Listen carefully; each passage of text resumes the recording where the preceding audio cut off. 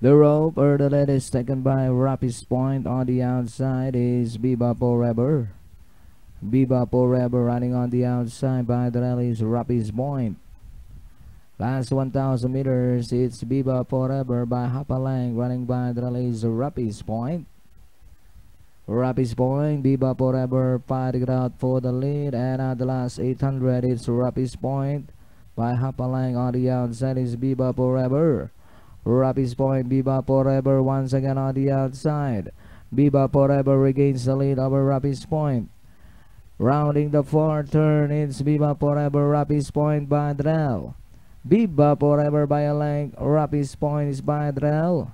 It's still Biba Forever by a length and a now over Rapid Point. And into the home stretch, it's Biba Forever by two lengths over Rapid Point down on the inside. Biba Forever, Rapid Point is by Drell. Rapid Point, Biba Forever on the outside. Rapid Point, Biba Forever. Biba Forever, Rapid Point. But still Biba Forever over Rapid Point. And finally, Biba Forever, Rapid Point.